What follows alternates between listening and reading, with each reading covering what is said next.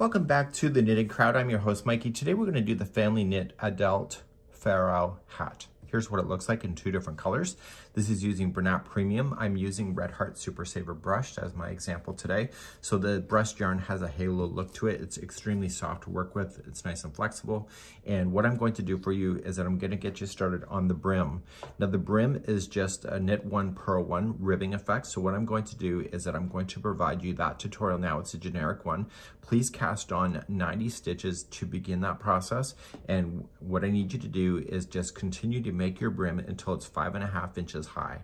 Okay, so when I look at it here, and you are going to be starting with a four and a half millimeter US seven knitting needle in order to begin. I have a 14 inch cord in the circular in order to do this, so I'm not using double points for this, but you will need the double points at the end. Once you have this done, we're then going to change these knitting needles to a five millimeter, a size US eight. Sorry, a cat jumped on me. And what we're going to do is to continue that journey then from that point. So please do your brim now. Um, it took me several hours to get here, so just put me on pause. And when you revisit me back in the future, it should start right at this point.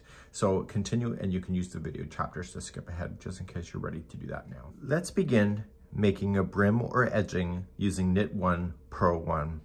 I'm going to demonstrate how to cast on using the twist and transfer method. You're going to start off with just creating a slip knot. We have slower tutorials available here on the Knitting Crowd in case you want to see specifics like that. We're going to then put on. There are many different ways to cast on, so if you choose a different way or there's a suggestion from the pattern, please use that method instead. To do a twist and transfer, you're going to slip your needle into the slip knot that we just created, and it will be directly inside, and you're going to take the yarn and wrap around the back needle. You're gonna come through, pull up, give it a little bit of slack, and then come up from the underside and push on and release. Don't be too tight with this method. Is it is a tight uh, cast on. So just continue to go around the back needle and do a twist and transfer on do the number that I have suggested already at the beginning of the tutorial that this is for. And then for this method, you need a multiple of two. So no matter what this size is, it has to be an even number in order to, for this uh, particular brim to work. Continue to cast on the number you need and maybe back here in just a moment. So I've been loading this and it's an even number. I need you to hear this. I want you to place one extra stitch on here. Okay, so even if the pattern says to do 80, do 81, and I'm gonna show you why in just a second.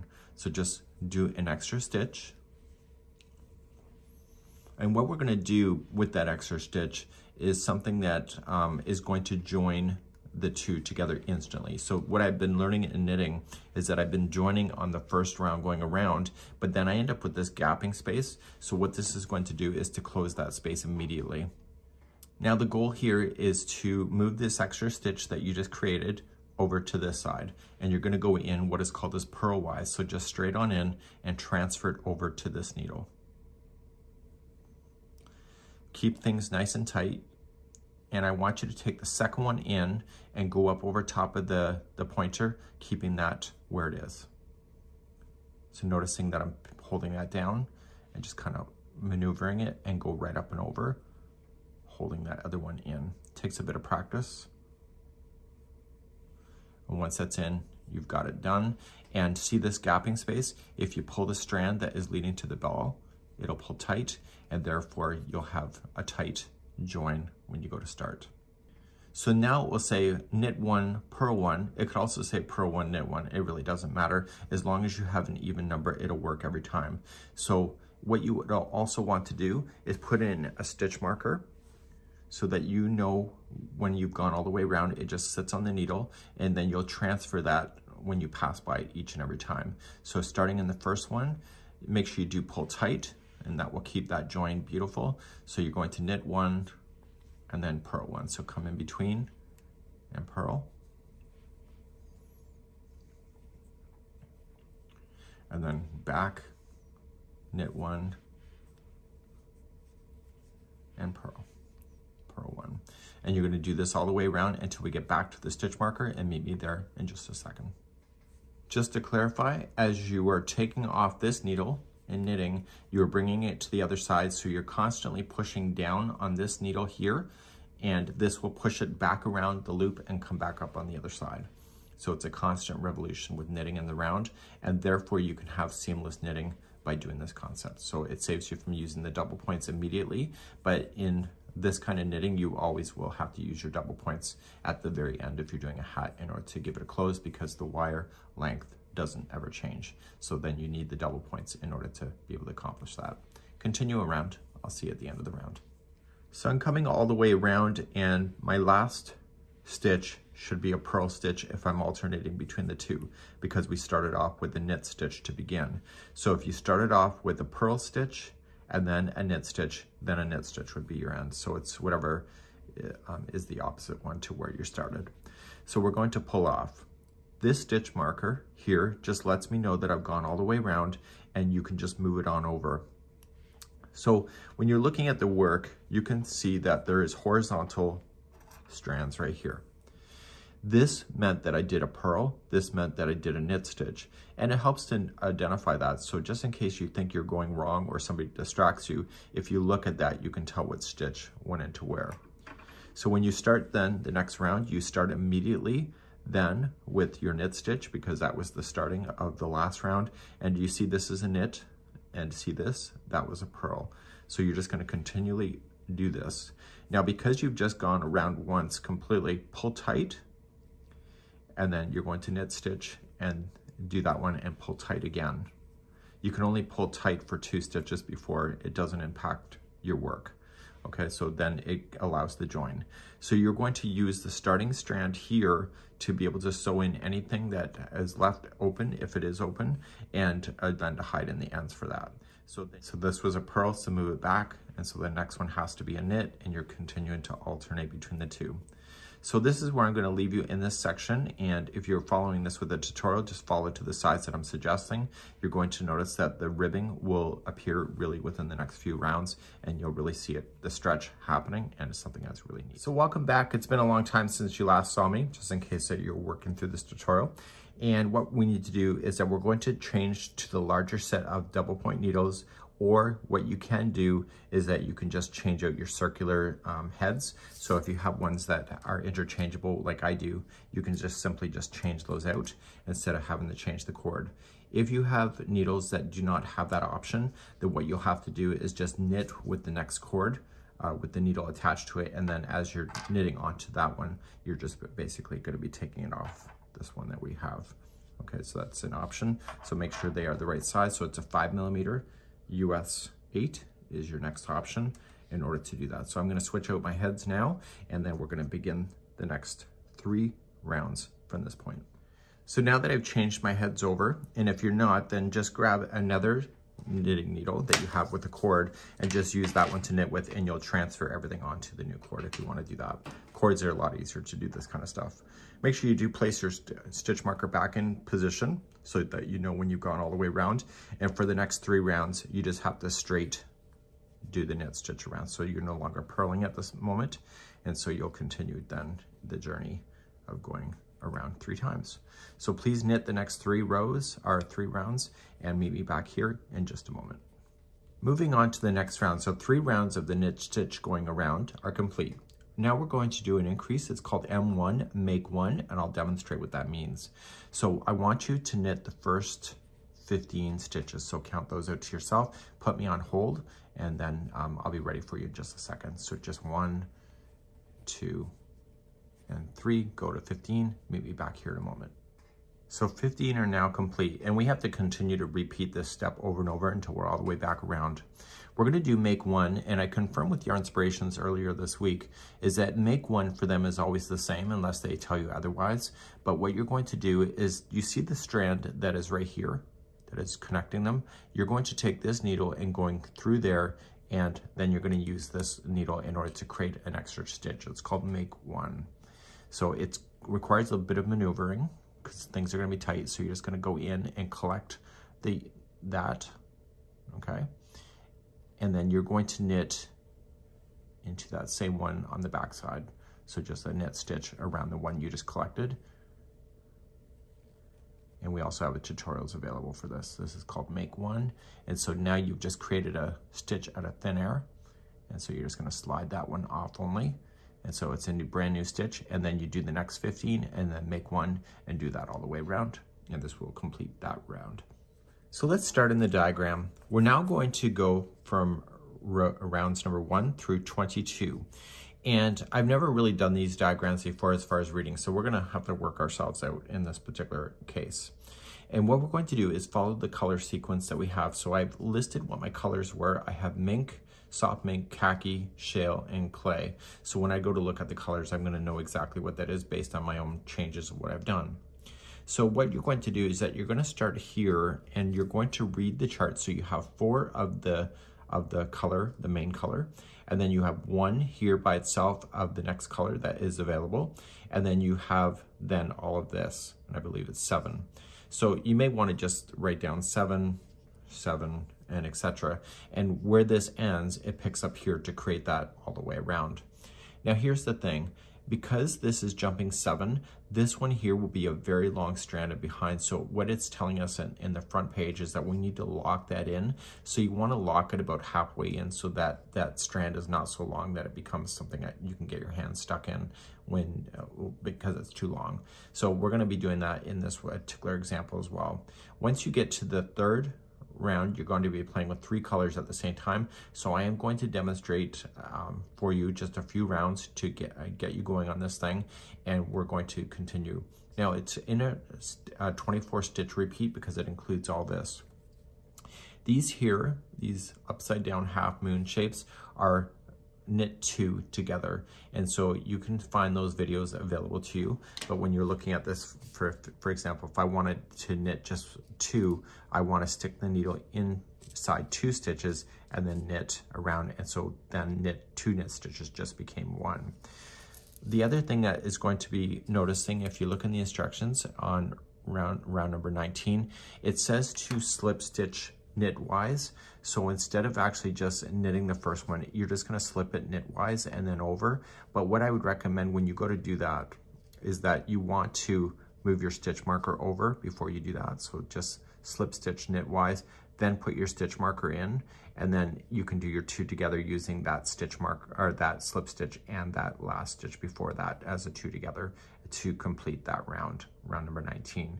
So that's something that you can decide for yourself on how you're gonna attempt that, but that's something that is, uh, it's not so, so big of a deal.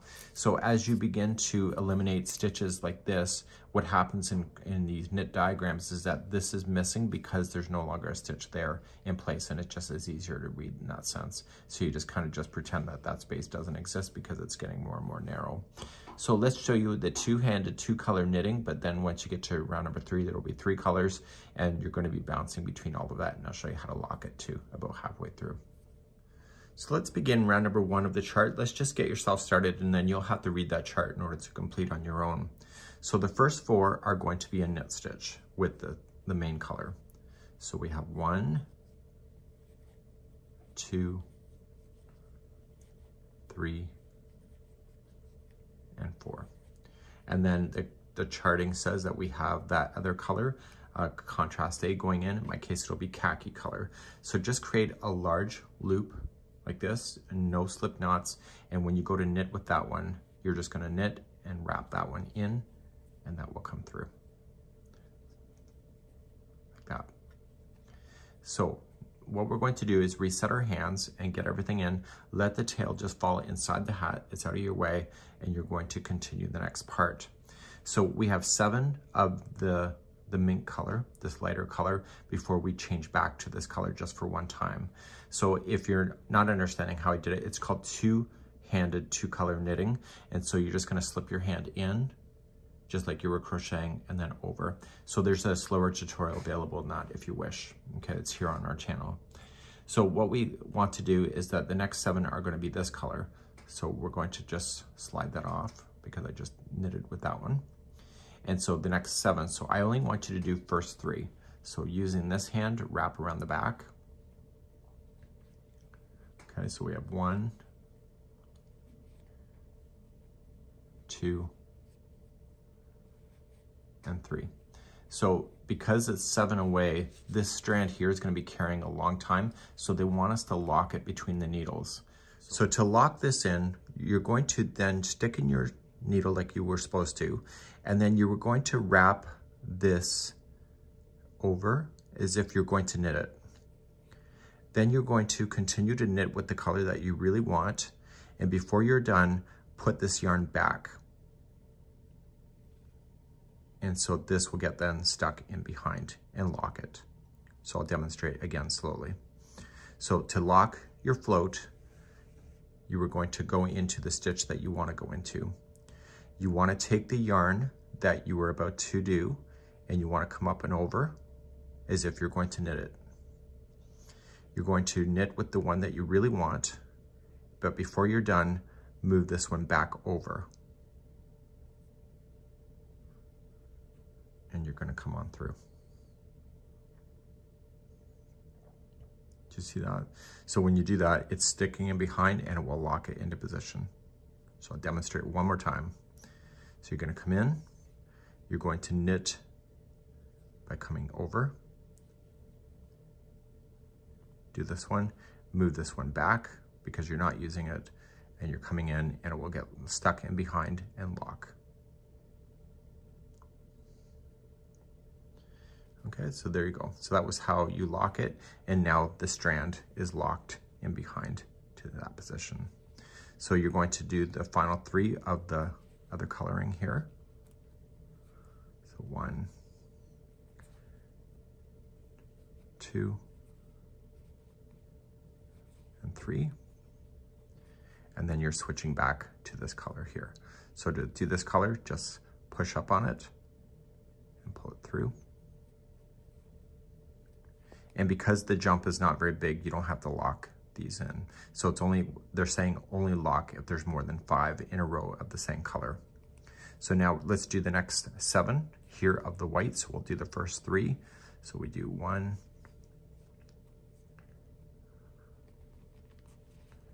two, and three.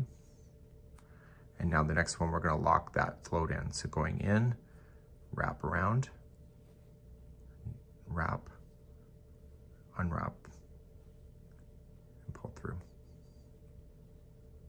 Okay, and now that will get stuck in there and do the final three. So you have your seven in a row. So we have one, two, and three. And then you're gonna switch back to this color here. Up. So you're gonna have to push up and off, okay? So you're only wrapping over when you're trying to lock in from what I understand. Okay, so that's how you were gonna do that and you wanna continue that sequence all the way around. So I'm coming up to the end of number one and the last three stitches should be the, the main color in order to keep the sequence. And you'll of course move up your stitch marker as you go around.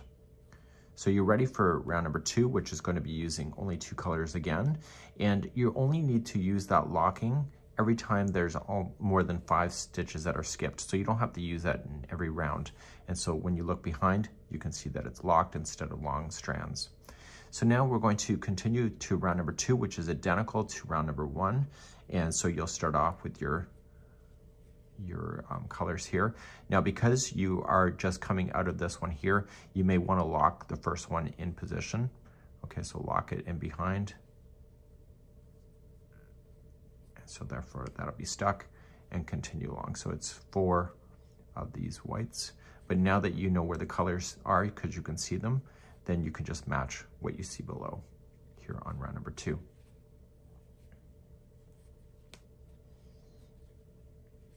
Okay, so I see the next one is green. So I want this one to be green. So I'm matching it because that's what it says or shows on the, on the diagram. So you'll match it. And you're not gonna worry about that coloring of like securing this loose end until later. So if it's a little loose right now, don't worry about it because you'll secure in all those tails at the end of the project or midway, depending when you wanna do it. And again, like you were doing before, you may wanna do the first three because you have seven in a row again of this color. So do the first three and then lock the fourth one in position. So going in. This is the first time I've ever done anything like this and I've gotten the swing of it already. So there's four and then you got your five, six, seven, and then change over. So do this for round number two and we'll be right back. So I'm coming all the way around on number two and then I'm gonna take you through one more round and therefore I'm gonna leave the rest in your capable hands to get yourself to the top. So this is the end of the round. I can tell by the stitch marker. And what I want to do then is start the next round. So in the charting, let's take a look at what we're up against. So in the charting, we're gonna start here and we're only gonna do be doing three of the color here, the main color, one of the one color we just been playing, a new color is going in, and then one of the other color we've been playing with, and then there's only five. So because there's only five stitches in a row, we no longer have to lock. So, so I'm going to introduce a third color to my left hand, and we're gonna start off, and we're only gonna do three of the main color. And if you do wanna lock this one in because it is a long span from the last one, you can. You know, it doesn't hurt anything at all. Okay, so we got the one, and just leave that in behind. So we got one, and then two, and three. So now we're gonna introduce this color back in, so it's gonna come in one before the other one. So we're just gonna go in there. And now the next one is the brand new color that we've been playing with that we're about to start. So just going on in, just hold, and then do a long loop of the new color. You'll secure these tails in later and just push it on. So now this color is gonna go in play and you're gonna knit with that color here. So we just have to get ourselves started with it and then you can position your hands properly. So you got that one.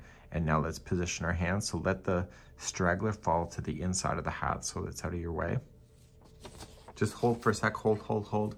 Um, I actually realized that this blue here, this new color we just added, is too long of a span. So you are gonna have to lock it midway on the third one of the white. So I said, and put both of the two colors without the straggler into your left hand.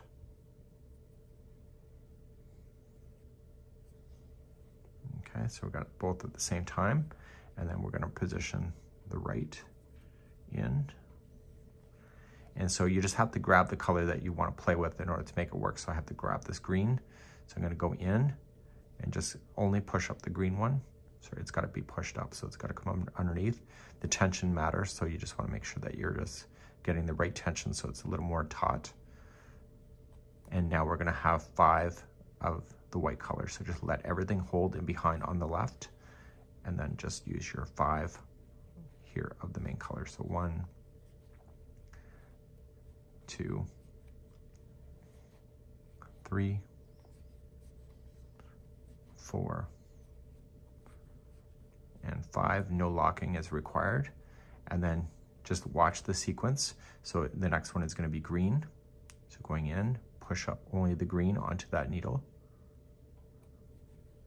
The next one is going to be that shale color. So going in, only push up the shale.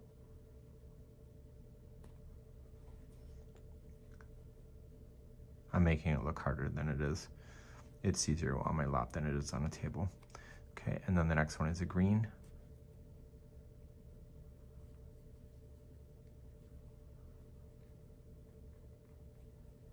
And then we have the five white again, or the, the mint color. And you're gonna do that sequence all the way around and I'll see you at the end of the round. So I've just come around on the third round. So what I'm going to do is leave the rest for you. And don't forget that when you have this around here. These are uh, knit two together. So just put the two together in the same coloring that you have. Lock anything that is more than five uh, stitches away. So you would have to lock this white here in behind and then just continue up and on number 19 number 19 remember what it said it says to slip stitch the first one knitwise and then I would put in my stitch marker like I showed you and then you're gonna put two together when you see this, and then the last two stitches will be a knit two together. That includes that one that you will slip stitch for the first time. And so you're going to get yourself all the way to number 22, and that's where I'm gonna see you next. And I know it's taking a bit of time in order to do this, um, but it's really well worth well worth it. And once you get to two colors that you'll see here, it gets a lot easier. Just three colors is always a little bit slower. So keep on at it and we'll see you back here in just a moment. So I'm working my way along in this and the green technically that I started off with is done for now. Okay, so I don't know if it comes back in the future, but that doesn't matter. Right now, I'm done with this color, so I'm going to trim this yarn long like this, and then I'm just gonna tuck that on the inside of the hat for now, and I'm gonna deal with any loose ends like this later. So just tuck it inside and continue the pattern. And now that we're only gonna be using two colors for a bit, it's gonna be a lot faster than jumping between the three. So um, that's what you need to do, and I'll be right back again. So I followed the chart all the way up to number 22, and that's good to go. So what I'm going to do now is we're gonna go to the next round with K4, so knit four and then knit two together only with the main color around. And then the next round will be the main color in knit. Once you have that done, you can see chart number two, which is here. And what we're going to do here is to continue this.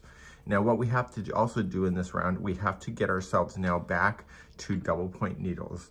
So because the cord cannot go any smaller, we need to start switching these over. So I'm gonna have some tips available for you coming up next. So now we're gonna have our double points ready, get five of them ready, and you are going to knit, and as you knit, the one will fall off. So we're gonna leave this out of the way, and we're going to use this knitting needle. What I'd recommend to you is that every time there's a grouping that says knit uh, four, two together, that consider that is considered one multiple. So whenever you do these, just make sure that you keep always a multiple together on the same needle. It just makes your life a lot easier.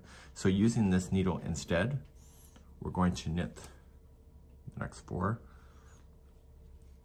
We have one, two,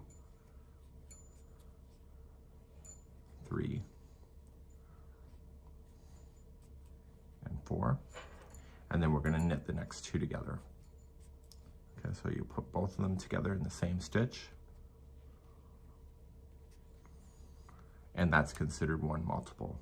So I want you to look at it and just kind of eye it up on getting all of this around on the four needles. So do another set because you can do more on this needle. So we have one, two, three, and four. And then we're gonna do knit two together. It looks like I can do even more on this needle, so let's keep on going. So let's do another four. So one, two, three, and four. And put the next two together.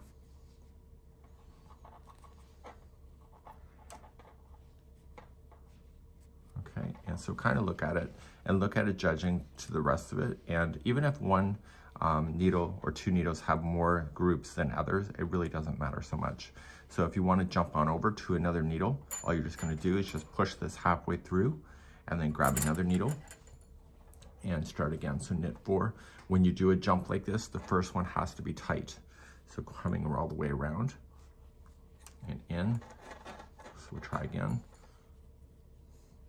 it's always awkward on the jump. So if you don't think um, that I'm, you know, my point being is that if you're struggling, it's not you, it's the concept. So then once you do the second one, it's easier. And once you do the second one, just pull tight with your finger, pushing it up. And then that was number two, three, and four. And then put the next two together. Okay, so keep on doing this until you are using all four needles going in a circle and therefore you'll have the fifth one to be able to knit with later. So do this all the way around. This is the next round. So I've just come all the way around and I'm just pulling out my last one. So these knitting needles are now retired and everything is on the four points. So it's a little uneven. I'm not gonna worry about it. I'm so new at knitting. I, I think I can manage. So what I'm going to do is knit the, completely the next round. So just exactly what I showed you. When you jump the needles, make sure that you're tight, okay, because you end up with a space. So to start, you need to move the, the needle down. And so you'll grab the fifth one, move this one halfway up so it doesn't slip off. And you're gonna go and when you jump the needle, make sure that the strand is tight. the first one is always awkward, like whenever you do a jump. So pull on it, okay, and then just lift and really give it a good tug. And it's the secret's in the second one, because after the second one, you can no longer tighten to bring that join nicely uh, around. So please knit all the way around for this round. So right now we have just finished the main color for knitting. And now we're gonna go and use this chart. So we're gonna do these five rows. You're going to introduce contrast A once again. You will follow the color sequence as you see going all the way around. On the fourth round, you have a uh, knit two together right here. So don't forget to do that. That's why there's a box missing on the fifth round. The fifth round, you will be back just to the main color. Once you have all this done, where I will pick you up in just a few seconds for now, we will finish off the final three rounds then together. So please do this chart now, and I will meet you at the end of number five. So I've now just completed the chart, and now I'm ready for the final three rounds. I'm gonna read them to you. You will do it, okay? That should be coming across more politely, but I'll read it to you and then put me on hold. The next round with just the main color only, you're gonna knit three, put two together. Knit three, put two together. Put me on hold and do that right now. If you're ready for the next round after this, with the still the main color, it's gonna be the main color right to the end. You'll knit two and then put two together. So knit two together. So knit two, put two together, put me on hold and do that. The very last round, you're going to knit one and put two together, knit one and put two together, and that's where I'm gonna pick you up at the end of this round. So please do these final three rounds and let's get this over with. So I've now come to the very end of the project. I'm going to trim this yarn here that is the last yarn that we've been playing with and I'm just gonna trim it along. And what I'm going to do is put this into a tapestry needle. So you notice that I haven't cast off yet. We are going to use this strand to kind of pull things together. Okay, so where you ended, right here, you're just gonna strategically just go and collect the loops. So I would highly recommend that when you collect, just pull a little bit of yarn through just to make sure that it is on there before allowing it to fall off. And you can collect multiple at the same time if you want to, and just continue to do that. So collect all of them and release your needles as you do it. So I've now just came around and you're going to see loose strands for when you were carrying up because I haven't told you how to secure those in. I don't think so. Maybe I did. But what I want to do now is just kind of pull on the top and close the top down. Okay, and pull snug. Depending on your yarn choice, sometimes the yarn can be really fragile depending on the brand. Uh, this yarn is Super Saver, so it's pretty good. So I'm just to secure in with just crossing over. Don't go too crazy on just doing it. You just need to close it. And then once we have to do that, we have to then put this to the inside and go down through here. If you would like to add a pom-pom, you're more than welcome to do so. And uh, there's tutorials on how to make pom-poms or get a store-made one. So I'm going to just secure this on the inside. So let's just go back right to the tip of here. And I'm just gonna take it, and you see a lot of strands here. As those are all the strands I've been just adding as we've been going, but I haven't been securing those in as I've been working my way through it because I can do it at the end. So I'm just tying a knot, making sure it's secure. And as soon as that's done, good to go. So let's turn this back to the outside of this now. And you're gonna have a definite seam line of where you always started and stopped.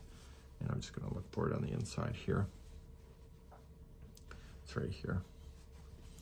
So you're gonna see some strands are kind of loose here. So what you have to do is strategically, as you secure them together, you wanna just kind of fold up.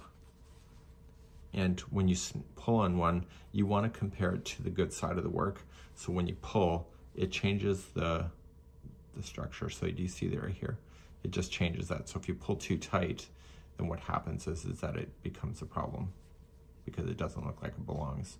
So you wanna just make sure that when you secure, you want to stay on the back side of the work only. So uh, grabbing your tapestry needle.